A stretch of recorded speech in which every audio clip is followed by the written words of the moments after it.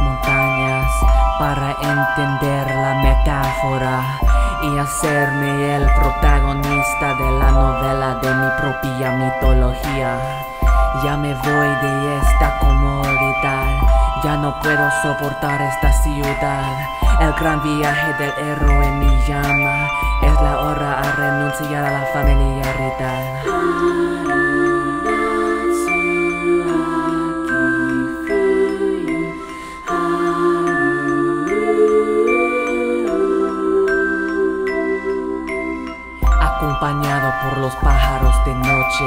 Los ecos de sus canciones guiándome y cuando alcanzó llegar el corazón del bosque, toda se queda completamente quieto.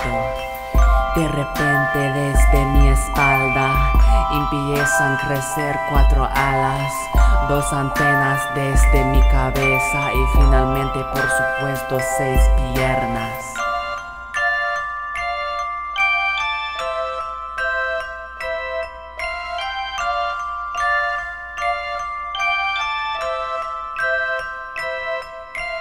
Vuelo por las ramas de los árboles altos, tratando de alejarme de los pájaros, procurando evitar todas las telarañas mientras los murciélagos me persigan tan rápidamente.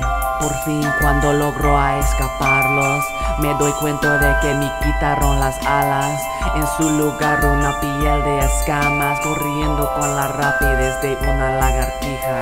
A pesar de mi impresionante velocidad, el peligro todavía me espera.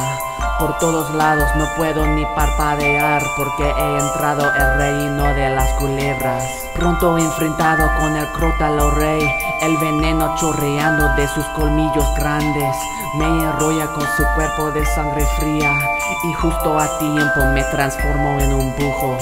Tan pronto como mato la culebra con mis garras, empiezan a estremecerse las estrellas.